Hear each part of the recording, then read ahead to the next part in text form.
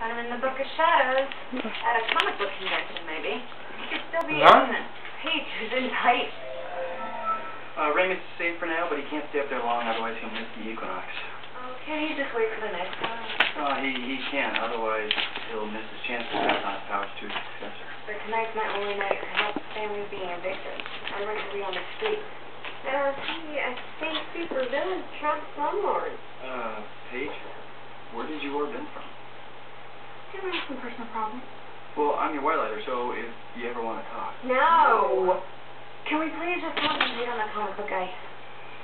Well, comic books wouldn't be a bad place to start. Remember the Demon of Illusion? No. Yeah, he was before you. He literally hid in the movies. So this guy could be hiding in comics. Let me get my dollar. them somehow. So we need to check comic book stores? Oh, okay. Ha ha. Alright, you just go deal with your slumlord. I'll catch up with you later. No, it's okay. We should do it together. No, if I see some dude in tights, we'll just orb out. Paige, it's dangerous. You shouldn't do it alone. Well, guess what? She won't have to. Remember me, the invisible woman? Now you two have got to cut this crap out now.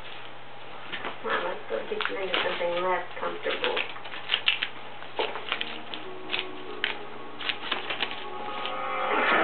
How could the aggressor fail? You told me you drew him invincible. It's her toy money. The equinox comes around once in a lifetime. I plan on spending the rest of that life lifetime sensing power. As my power reigns supreme. I Hard enough. You're drawing a new aggressor. Stronger. One that can handle the riches when Reyes returns.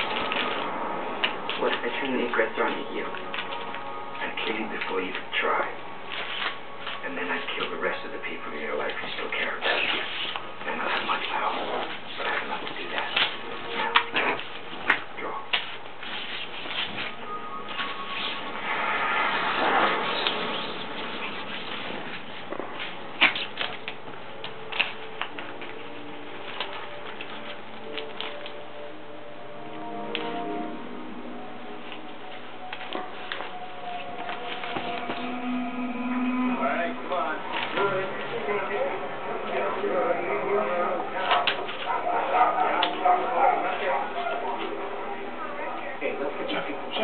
Uh, Edward Miller.